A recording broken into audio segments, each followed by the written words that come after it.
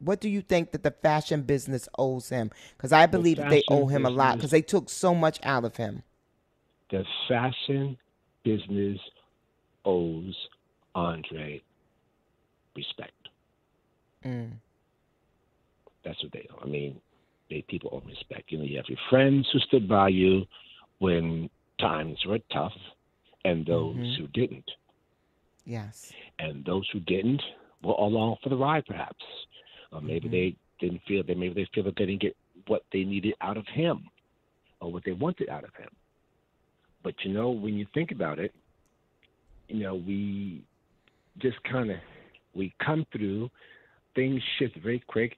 I had a few phone calls about people saying to me, well, "How come last night? How come Anna Wintour hasn't said anything?" Actually, allow her a chance to, to grieve. Yeah.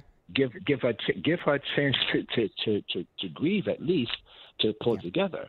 I mean, the Yeah. pressure of of her to have to say something and say the right things and say the things that from the heart, no matter Yes. what happened between the two of them by way of book or documentary, whatever you may call it, they still had a relationship for a very, very long time.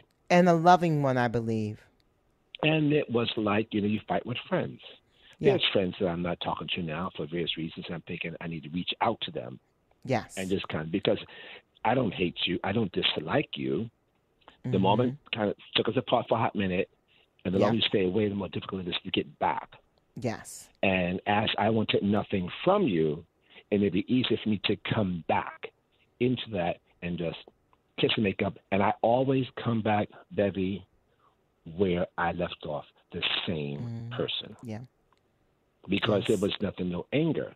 And with mm-hmm. Andre, it was hard for people to get around thinking that because she didn't help them the way they thought he could have. I always said that Andre had a boss too. Yes. He was able to help people get in. I mean, I never heard about Laquan Smith until Andre brought it to my attention. That's right. That's right.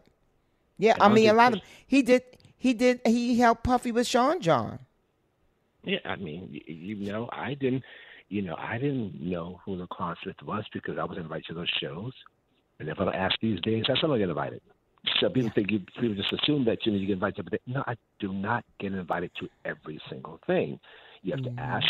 We and there's a a pecking a pecking order. Who Yeah. gets invited to who? What seat? Who gets what seat? If you're not doing anything, and as I tell people, you know, there's this place of being iconic, being legendary, that doesn't hold power for relevancy, if that makes any sense. Mm. Yes, it does.